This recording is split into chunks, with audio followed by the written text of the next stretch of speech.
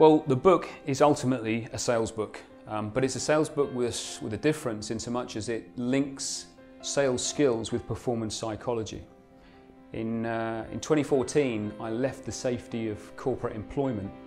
Um, I was a European sales director. Uh, together with the sales team, I looked after 70 million euros of business. Um, I had all the bits and pieces that went with a successful career working in corporate, but I, I definitely wanted to go and work for myself. I, I, didn't want to be, you know, later in life regretting the fact that I hadn't tried something of working for myself or working on my own. Um, so uh, I left corporate, and in the very first day in my new home office, with my new what was a training company at that time, specifically working in the field of performance psychology, I suddenly realized I didn't have any customers.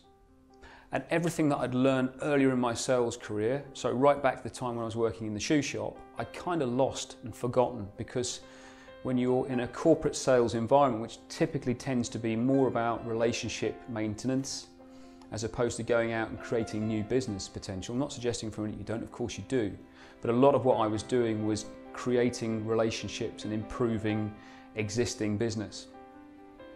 When you go and work for yourself, of course, you've got a brand new product and you've got no customers. And what I found in those very first few hours of that very first day was that I'd forgotten a lot of the sales skills that I'd learned earlier in my life simply because I hadn't used them. Repetition is the mother of progress, the mother of learning, in fact, and uh, I'd forgotten some stuff through the lack of repetition.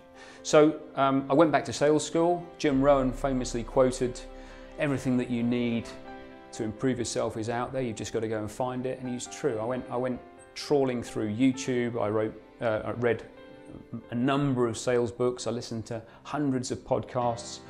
I sat down and had lunch with a number of really influential sales uh, experts.